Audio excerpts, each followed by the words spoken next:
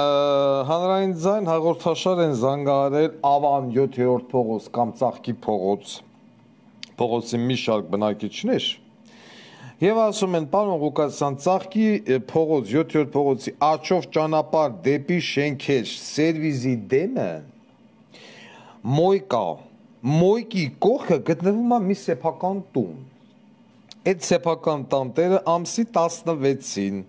հունիսի ժամը 7-ից 7:30-ի սահմաններում որսորդական հրացանը ուսին քցած